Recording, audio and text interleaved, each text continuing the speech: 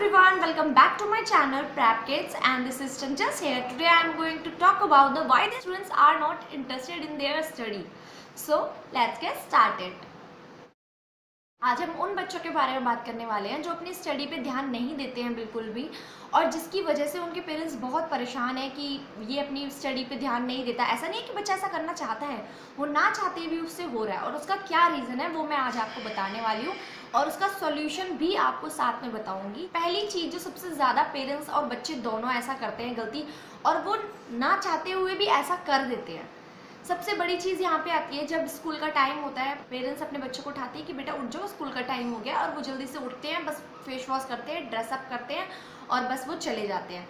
ना वो बाथ लेते हैं, ना वो फ्रेश होते हैं, जिसकी वजह से वो क्लास में ट्रबल करते हैं अपने आप को और साथ में टीचर को भी।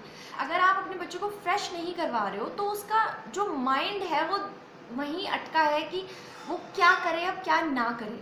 सेकेंड चीज़ उसकी बॉडी फ्रेश नहीं है, वो एक्टिव ही नहीं है तो वो कैसे अपना माइंड उसमें लगाएगा? अपनी बॉडी और अपने माइंड को कैसे एक्टिव रखेगा अपनी क्लास में? और जब वो एक्टिव ही नहीं है तो वो स्टडी कैसे करेगा? सेकेंड चीज़ ये होती है कि पेरेंट्स बच्चों को फ़ोन दे देते हैं और वो फ़ोन ही बिज़ी रहते हैं।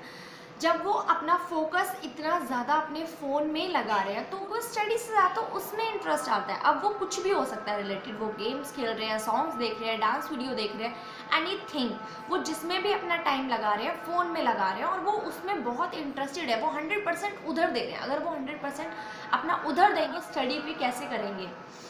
तो आपको आपको उन्हें फ़ोन देना है यूज़ करने के लिए देना है पर एक टाइम आपको सेट कर लेना है कि बेटा आपका ये टाइम है और यहाँ से आपको स्टडी करनी है।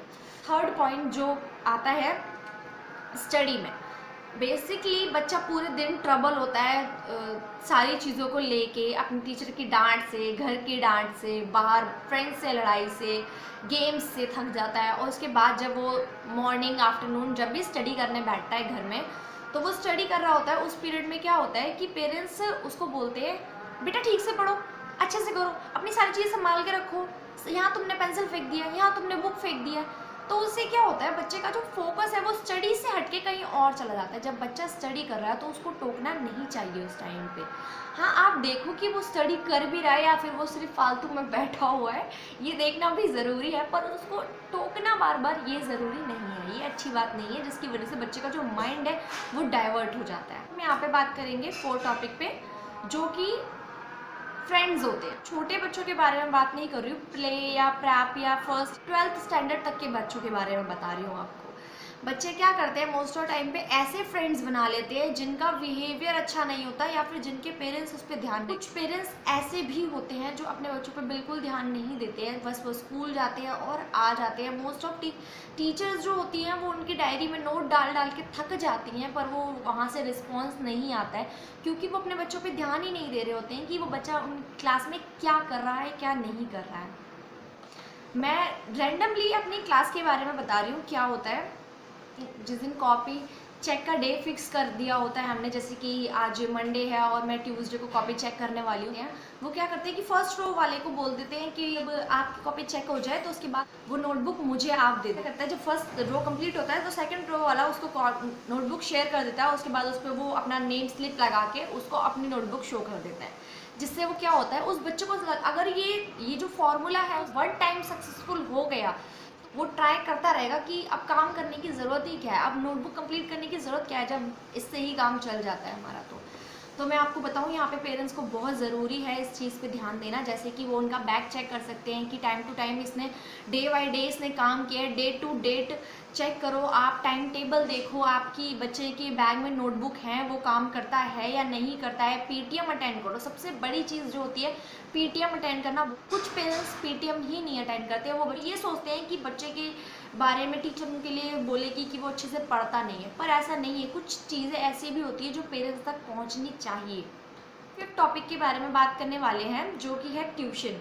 मोस्ट ऑफ़ पेरेंट्स अपने बच्चों का ट्यूशन ये सोच के लगाते हैं कि बच्चा टू टाइम स्टडी करेगा तो उसका माइंड अच्छा होगा। पर ऐसा क्या होता है? कई बार पेरेंट्स जो होते हैं, वो सिर्फ़ और सिर्फ़ ट्यूशन तो लगाते हैं, पर वो ये नहीं देखते हैं कि जिस ट्यूशन में, जिस बैच में बच्चा पढ़ रहा है, क्या उसमें उतने स्टूडेंट्स हैं जिसमें मेरे बच्चे समझाया जा सके या आपका ये देखना बहुत इंपॉर्टेंट होता है क्योंकि थर्टी बच्चे तो क्लास में भी होते हैं। अगर वो थर्टी बच्चे ट्यूशन में भी उनके साथ ही पढ़ रहा है थर्टी बच्चों में ही काउंट होकर स्टडी कर रहा है तो उसको कोई फ़ायदा नहीं है। आपको ट्यू, आप एक्स्ट्रा पे कर रहे हो स्कूल से तो आपका ये राइट्स बनते हैं कि आप उसको ट्यूशन में ये चीज़ देखो कि थर्टी बच्चों का बैच ना हो।